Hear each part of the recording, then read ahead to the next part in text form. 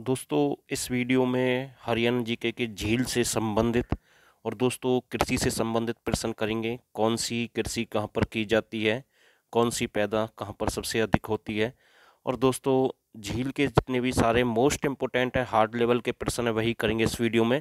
और दोस्तों, अगर आप सभी को ये वीडियो पसंद आई तो प्लीज़ चैनल ज़रूर सब्सक्राइब कर देना और दोस्तों, इस वीडियो को ज़्यादा से ज़्यादा शेयर कर देना। साथ के साथ बेल आइकन वाला बटन ज़रूर प्रेस करें। भविष्य में हम कोई वीडियो अपलोड करेंगे तो उसका सीधा नोटिफिकेशन आपको मिल जाएगा।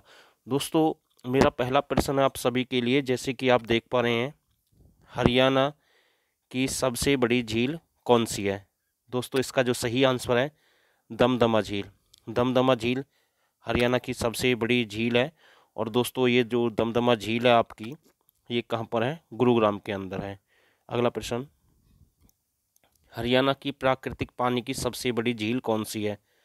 दोस्तों, प्राकृतिक पानी की सबसे बड़ी झील है जो आपकी भिंडावास। और दोस्तों, यहाँ पर भूरे हंस पाए जाते हैं, एक वन्य जीव अभ्यारण्य है। वहाँ पर भूरे हंस मिलते हैं, कहाँ पर? भिंडावास में। वन्य जीव अभ्यारण्य जबकि प्राकृतिक पानी की सबसे बड़ी झील कौन सी है? भिंडावास। सबसे अधिक पर्यटक किस झील को देखने के लिए आते हैं? दोस्तों, इसका जो सही आंसर है, बड़कल झील को देखने के लिए सबसे अधिक पर्यटक आते हैं। और दोस्तों, बड़कल झील का निर्माण उन्नीस में किया गया था सिंचाई परियोजना के लिए, और ये आपकी फरीदाबाद में है। अगला प्रश्न, सरस्वती की सात नदियों का मिलन स्थान किस झील को कहा जाता है? दोस्तों, सन्निहित झील है, ये कुरुक्षेत्र के अंदर है, इसे सात नदियों का मिलन स्थान भी कहा जाता है। दसवीं शताब्दी में किस झील का निर्माण किया गया? दोस्तों, दसवीं शताब्दी में फरीदाबाद के अंदर सूरजकुंड झील जी हाँ दोस्तों सूरज कुंड का मेला लगता है, वहाँ पर एक मयूर झील है, उसके अंदर इसी को सूरज कुंड झील के नाम से भी जाना जाता है। हरियाणा में किस झील को खूनी झील के नाम से जाना जाता है? दोस्तों, ये बड बाडी है बर्ड नहीं है बड बाडी झील है, ये कहाँ पर है? फरीदाबाद के अंदर है। इसे खूनी झील के नाम से जाना जाता है। अच्छा प्रश्न है, इसके ज़्यादा चांस है एग्ज़ाम में आने के। अगला प्रश्न हरियाणा की किस झील में भटकती हुई दुखी आत्मा को शांति मिलती है? दोस्तों, ये प्राचीन समय की झील है। ये एक कहावत है प्राचीन समय की, जो भटकती हुई आत्मा है, जिनका कुदरत के बिना वैसे किसी जैसे मान के चलें, एक्सीडेंट से किसी का देहांत हो जाता है। तो जो भटकती हुई आत्मा है, जो बिना शरीर के अपने समय पर मरने से पहले जिनका देहांत हो जाता है, उनको सन्निहित झील में, कुरुक्षेत्र की जो झील है, उसमें शांति मिलती है। उनका यहाँ पर एक प्रकार से तर्पण किया जाता है। अगला प्रश्न, कोटला झील कहाँ पर है? दोस्तों, ये कोटला झील जो आपकी है, ये मेवात के अंदर है। अच्छा प्रश्न है, यहाँ से एग्ज़ाम में कई बार प्रश्न पूछा गया है और मेवात को नूह भी कहते हैं। टिक्कर ताल झील कहाँ पर है? दोस्तों टिक्कर ताल आपकी पंचकुला में है। कोटला, मेवात और पंचकुला है, जो आपकी टिक्कर ताल है, पंचकुला में। मोस्ट इम्पोर्टेंट प्रश्न ओटू झील कहाँ पर है? दोस्तों ओटू झील सिरसा में है। ओटू के नाम से सिरसा में एक बाँध भी है। दोस्तों, ध्यान रखना, झील भी है और बाँध भी है। बीबीपुर व नजबगढ़ नामक झीलें हरियाणा की किस प्राकृतिक क्षेत्र की झीलें हैं? ये प्रश्न एग्ज़ाम में कई बार पूछा गया है। बीबीपुर व नजबगढ़ नामक झीलें हरियाणा की मैदानी झीलें हैं। दोस्तों, कई बार एग्ज़ाम में पूछा गया कैसी झीलें हैं? मैदानी झीलें। हरियाणा का सबसे बड़ा पक्का तालाब। जी हाँ ये तालाब से संबंधित प्रश्न आ गया। ब्रह्म सरोवर है। सबसे बड़ा पक्का तालाब है और ब्रह्म सरोवर कहाँ पर है? कुरुक्षेत्र के अंदर। ध्वज झील कहाँ पर है? दोस्तों, ध्वज झील आपकी फरीदाबाद के अंदर है। दोस्तों, अगर आप सभी को वीडियो पसंद आई तो प्लीज़ चैनल ज़रूर सब्सक्राइब कर देना और दोस्तों, इस वीडियो को ज़्यादा से ज़्यादा शेयर कर देना। हरियाणा का सबसे बड़ा पक्का तालाब, ये मैंने अभी करा दिया, ध्वज झील भी करा दी है। दमदमा झील कहाँ पर है? दमदमा झील गुरुग्राम के अंदर है। अच्छा प्रश्न है, कई बार एग्ज़ाम में पूछा गया। चक्रवर्ती झील कहाँ पर है? इसके ज़्यादा चांस है एग्ज़ाम में पूछे जाने के, चक्रवर्ती झील कहाँ पर है? करनाल के अंदर है। संघेल जी हाँ संघेल ये थोड़ी सी दिक्कत हो जाती है, जब नोट्स बनाते हैं तो कई बार दिक्कत हो जाती है, गलत लिख जाता है, इसके लिए हम आपसे माफ़ी चाहते हैं। संघेल झील कहाँ पर है? दोस्तों, इसका जो सही आंसर संघेल मेवात में पड़ती है, एक गाँव है संघेल नाम, वहीं पर ये झील है। और दोस्तों संघेल के साथ साथ उजीना झील भी यहीं पर है मेवात के अंदर कौन सी? उजीना झील। गन्ना और मिर्च हरियाणा में सबसे अधिक कहाँ पर होती हैं? दोस्तों, फ़सल से संबंधित प्रश्न भी कराएँगे इस वीडियो में। गन्ना और मिर्च हरियाणा में सबसे अधिक कहाँ पर होती हैं? यमुनानगर के अंदर सबसे अधिक होती हैं। अगला प्रश्न, ज्वार सबसे अधिक हरियाणा में कहाँ पर होती है? रोहतक। रोहतक के अंदर ज्वार सबसे अधिक होती है। मक्का सबसे अधिक हरियाणा में, पंचकुला के अंदर मक्का सबसे अधिक होती है। दोस्तों, अच्छे प्रश्न है अच्छा लेवल करा रहे हैं आप सभी के लिए, अच्छे से तैयारी करा रहे हैं। अगला प्रश्न, प्याज हरियाणा में सबसे अधिक कहाँ पर होती है? दोस्तों, प्याज हरियाणा में सबसे अधिक अम्बाला के अंदर होती है। नेक्स्ट प्रश्न, केला और सेब हरियाणा में सबसे अधिक कहाँ पर होते हैं? दोस्तों, केला और सेब के उत्पादन में हरियाणा में फतेहाबाद में सबसे अधिक उत्पादन होता है। हल्दी हरियाणा में सबसे अधिक? दोस्तों अम्बाला के अंदर ही हल्दी सबसे अधिक होती है। अगर अम्बाला ना मिले तो ऑप्शन में यमुनानगर मिलेगा। ध्यान रखना आप सभी को।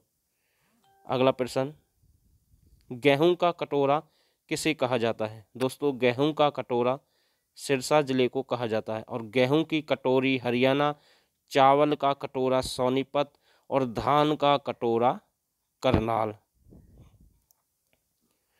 फलों में सबसे अधिक उत्पादन किसका होता है? दोस्तों, फलों में सबसे अधिक उत्पादन आम का होता है। आम सबसे अधिक अम्बाला में होते हैं, जबकि आमों का मेला पिंजौर, पंचकुला में लगता है उन्नीस सौ बानवे तिरानवे से मेला लगता आ रहा है। अगला प्रश्न। मसालों में सबसे अधिक उत्पादन किसका होता है? दोस्तों, मसालों में हरियाणा में सबसे अधिक उत्पादन हल्दी का होता है। नेक्स्ट प्रश्न। फूलों में सबसे अधिक उत्पादन किसका होता है?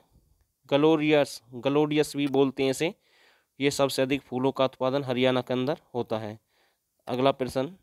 फलों में सबसे, सॉरी, फलों से संबंधित मंजियारा योजना किस देश के सहयोग से लगाई गई? दोस्तों, फलों से संबंधित मंजियारा योजना इजराइल में लगा, इजराइल के सहयोग से सिरसा में लगाई गई है। दोस्तों, मंजियारा योजना जो सिरसा में चलाई गई, लेकिन हरिया से, हरियाणा से संबंधित है और किस देश का सहयोग है? इजराइल का सहयोग है। नेक्स्ट प्रश्न हरियाणा में अंतर्राष्ट्रीय सेब मंडी कहाँ स्थापित की गई है? दोस्तों, अंतर्राष्ट्रीय सेब मंडी पंचकुला के अंदर है। नेक्स्ट प्रश्न अंतर्राष्ट्रीय फूल मंडी कहाँ स्थापित की गई है या कहाँ की जाएगी? दोस्तों, अंतर्राष्ट्रीय फूल मंडी आपकी गुरुग्राम के अंदर है। नेक्स्ट प्रश्न अंतर्राष्ट्रीय सब्ज़ी मंडी कहाँ स्थापित की जाएगी? दोस्तों, अंतर्राष्ट्रीय सब्ज़ी मंडी गन्नौर, सोनीपत के अंदर स्थापित की जाएगी। दोस्तों, अठारहवीं शताब्दी में खेतों की जुताई किस बार से की जाती थी? अठारहवीं शताब्दी की बात हो रही है, जो खेतों की जुताई है, वो बुधवार से की जाती है। दोस्तों ये मसालों की जो सबसे बड़ी मंडी है, जो दिल्ली में है, लेकिन अब आपकी सोनीपत में बनाई जा रही है सबसे बड़ी मंडी, ये प्रश्न भी आ सकता है। करंट का प्रश्न है, मसालों की सबसे बड़ी मंडी सोनीपत में भी बनाई जा रही है। अगला प्रश्न है, उन्नीसवीं शताब्दी में खेतों की जुताई किस वार से की जाती थी? दोस्तों, उन्नीसवीं शताब्दी में खेतों की जुताई सोमवार से की जाती थी और अठारहवीं शताब्दी में बुधवार से। दोस्तों मैंने इस वीडियो में आप सभी को बहुत जल्द अच्छे अच्छे प्रश्न करा दिए हैं। और दोस्तों, ये प्रश्न आप सभी को ज़रूर पसंद आए होंगे। अगर आप सभी को ये प्रश्न पसंद आए तो प्लीज़ बस हमारी आपसे एक ही रिक्वेस्ट है। अगर आप हमारे चैनल पर पहली बार जुड़े हैं तो प्लीज़ चैनल ज़रूर सब्सक्राइब कर दें और दोस्तों, इस वीडियो को ज़्यादा से ज़्यादा शेयर कर दें। दोस्तों, हम आपके लिए समय समय पर अच्छी वीडियो लेकर आ रहे हैं और हम आपके लिए भरपूर प्रयास कर रहे हैं कि जो आने वाले एग्ज़ाम हैं, एचएससी की, उनकी आप अच्छे से तैयारी कर सकें। और दोस्तों, मैंने हरियाणा जीके की इससे पहले अट्ठाईस से उनतीस वीडियो अपलोड कर दी हैं। अगर किसी भाई ने वो वीडियो नहीं देखी है हार्ड लेवल की तो वो ज़रूर देख लें। प्ले लिस्ट में आपको पूरी वीडियो मिल जाएँगी। वहाँ पर प्ले लिस्ट में हमने सारी वीडियो डाल रखी हैं। जैसे ही आप हमारे चैनल पर जाएँगे, वहाँ से आपको पूरी जानकारी मिल जाएगी। और सभी वीडियो मोस्ट इम्पोर्टेंट है आने वाले एग्ज़ाम के लिए। दोस्तों इस वीडियो में मैंने आपके लिए बस यही प्रश्न कराए हैं और आशा करता हूँ आप सभी को ये प्रश्न ज़रूर पसंद आए होंगे। दोस्तों हम समय समय पर आपके लिए एग्ज़ाम से संबंधित खबर लेकर आते हैं। हमने आपकी हरियाणा जीके की हार्ड सीरीज़ भी स्टार्ट कर रखी है क्योंकि आने वाले समय में एचएससी के बहुत सारे एग्ज़ाम आने वाले हैं। दोस्तों आज के पेपर में भी न्यूज़ आई है कि 21, 22, 23 और उनतीस तारीख को फरवरी में पेपर होगा इसलिए जो सेंटर है वो बनाए जा रहे हैं। दोस्तों बस यही जानकारी दूँगा आप सभी को इस वीडियो में। और दोस्तों, आप सभी ने ये वीडियो यहाँ तक देखी। आप सभी का बहुत बहुत धन्यवाद। और दोस्तों, इस वीडियो को आप ज़्यादा से ज़्यादा शेयर भी कर दें। दोस्तों, फिर से आपका एक बार धन्यवाद करना चाहता हूँ। धन्यवाद।